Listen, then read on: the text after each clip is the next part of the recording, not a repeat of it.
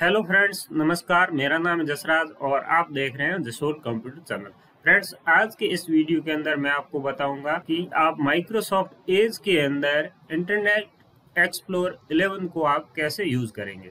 तो हमारे को काफ़ी ऐसी वेबसाइट होती है जो हमारे को इंटरनेट एक्सप्लोर में चलाना पड़ता है, नहीं तो वो वेबसाइट प्रॉपर काम नहीं करती है। तो इस वीडियो को आप शुरू से लेकर लास्ट तक पूरा ज़रूर देखें और चैनल को अभी तक सब्सक्राइब नहीं किया है तो सब्सक्राइब ज़रूर कर लें। तो सबसे पहले आपको अपने विंडोज़ आपके पास में, चाहे विंडो 10 है, चाहे विंडोज़ 11 है, उसके अंदर आप सबसे पहले अपना माइक्रोसॉफ्ट एज है, उसको ओपन कर लीजिए। उसको ओपन करने के बाद में आप यहाँ पर आपकी कोई भी साइट है जो एक्सप्लोर 11 के अंदर काम करती है, उसको अगर यूज़ करोगे तो आपकी वेबसाइट ओपन नहीं होगी। अगर ओपन होगी तो वो ठीक से काम नहीं करेगी। उसके लिए अगर इंटरनेट एक्सप्लोर 11 की रिक्वायरमेंट है तो उसी के अंदर ही चलेगा। तो यहाँ से मैं इसको क्लोज करता हूँ और माइक्रोसॉफ्ट एज को ओपन करता हूँ। इसके अंदर हमारे को इंटरनेट एक्सप्लोर 11 को कैसे अनेबल करना है, वो इस वीडियो के अंदर अपन सीखेंगे। तो सबसे पहले अपन यहाँ पर थ्री डॉट पे क्लिक करेंगे और यहाँ पर सेटिंग पे क्लिक करेंगे।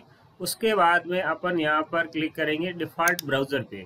और उसके बाद में आप यहाँ पर अलाउ साइड लिखा हुआ है internet explore I tab enable करने के लिए तो यहाँ पर डिफ़ॉल्ट लिखा हुआ होगा तो अपन यहाँ पर अलाउ पे क्लिक कर देंगे और यहाँ से ब्राउज़र को रिस्टार्ट कर देंगे। उसके बाद में हमारे को एक और सेटिंग करनी पड़ेगी, वो आपको मैं दिखा देता हूँ। अगर इतनी सेटिंग करने के बाद में आपकी वेबसाइट आप चलाना चाहते हो तो बिल्कुल चला सकते हो। जैसे कि मैं यहाँ पर ये बैंकिंग की वेबसाइट यहाँ से ओपन करता हूँ और यहाँ पर मैं क्लिक करता हूँ और यहाँ पर reload in internet explore mode पे क्लिक करता हूँ। तो ये हमारी वेबसाइट है।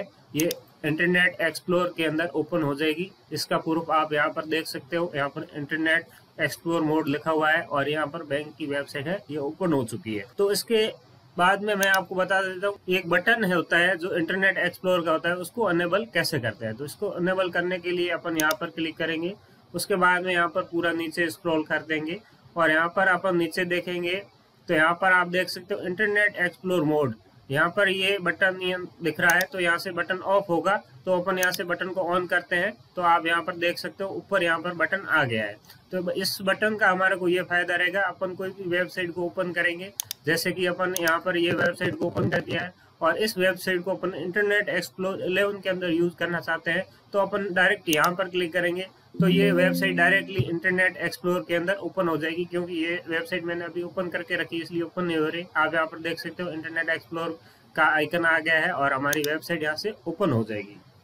तो इस प्रकार से आप अपने विंडोज़ के अंदर माइक्रोसॉफ्ट एज के अंदर आप अपनी बैंक की वेबसाइट या कोई भी वेबसाइट जो आप यूज़ करते हो, उस वेबसाइट को इस हिसाब से आप यूज़ कर सकते हो। जैसे कि मैं आपको यहाँ से दोबारा भी बता देता हूँ, यहाँ पर अपन माइक्रोसॉफ्ट एज को ओपन करते हैं, यहाँ पर वेबसाइट ओपन करते हैं, उसके बाद में अपन यहाँ पर क्लिक करते हैं इंटरनेट एक्सप्लोर मोड पे।